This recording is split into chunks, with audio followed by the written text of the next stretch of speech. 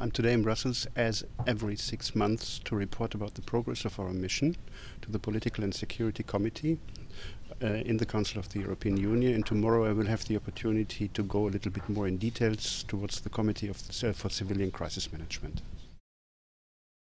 Basically, the work we do is assistance, capacity building, mentoring, and monitoring the indigenous police organizations and the criminal justice system because we are not only dealing with the police in Bosnia and Herzegovina. We do that since 2003 because this mission is the first crisis management mission of the European Union.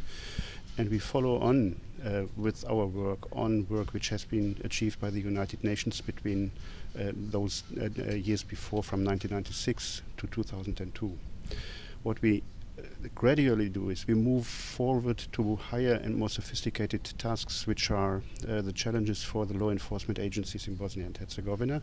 And so, since 2009, we only focus on the assistance in the fight against organized crime and other serious crime, including corruption.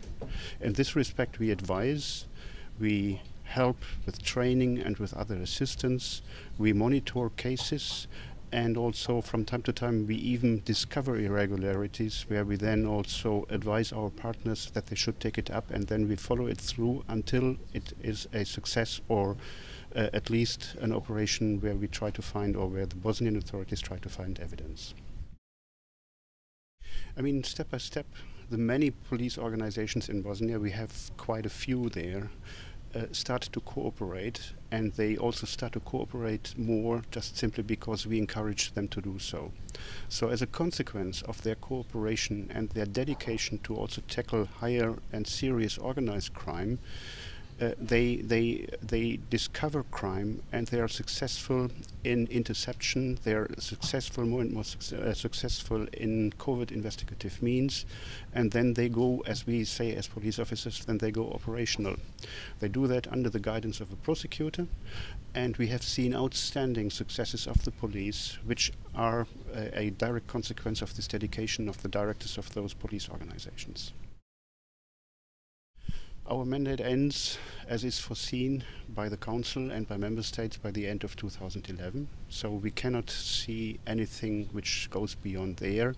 We advise Member States and the services here in Brussels about what we have achieved. This is what we, for example, do today, and what we still see ahead. So it's a balance of good news stories about the successes and also a very open-minded discussion about what's still missing.